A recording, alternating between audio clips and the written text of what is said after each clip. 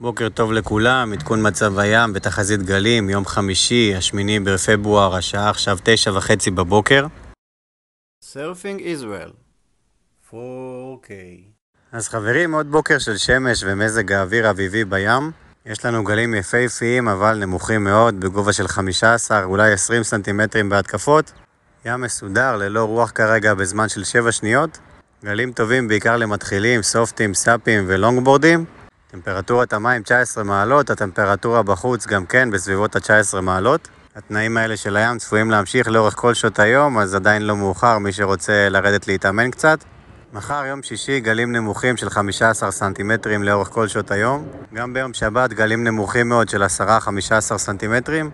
וביום ראשון גלים נמוכים של עד 20 בהתקפות. בטווח הרחוק נראה איזושהי תזוזה בים רק לקראת יום חמישי. אני כמובן אמשיך לעקוב ולעדכן אתכם, לא לשכוח להירשם כמנויים לערוץ ולהפעיל התראות.